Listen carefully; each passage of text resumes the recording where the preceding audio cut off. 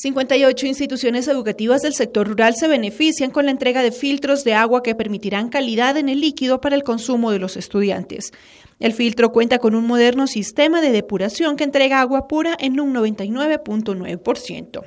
Es una tecnología suiza es membrana de ultrafiltración, que es la tecnología que ha sido, según un estudio reciente que hizo la Organización Mundial de la Salud en 2016, eh, fue calificado con el nivel más alto de protección a la salud por la retención que tiene tan alta de 99.99% de microorganismos, tanto bacterias como parásitos y, y protozoos. En esta primera etapa del proyecto vamos a beneficiar a 58 sedes educativas, que son las que cuentan, por así decirlo, con las peores condiciones de potabilidad de agua.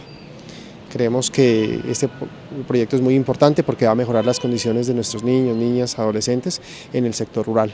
El filtro tiene una funcionalidad en el tiempo considerable. Para las próximas etapas del proyecto se utilizará el mismo sistema. El tiempo que tarde eh, la escuelita en consumir esos 100 mil litros. Ese es el tiempo de vida útil. La idea es poder este año, Dios mediante, eh, al segundo semestre poder hacer una segunda inversión para focalizar el 100% de las sedes educativas del sector rural. Cada institución contará con un filtro de agua. La inversión para esta primera etapa es de 153 millones de pesos.